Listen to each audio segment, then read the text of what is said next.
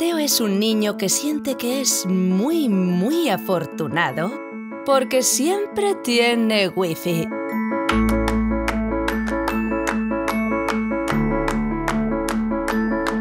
Le encanta ver vídeos nada más despertarse, desayunar con su serie favorita, escuchar canciones mientras come y, por supuesto, jugar un rato con el móvil antes de dormir.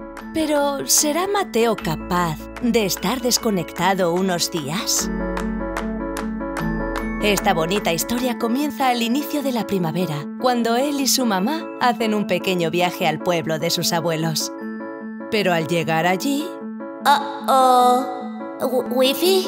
¿Wifi? ¿Dónde estás?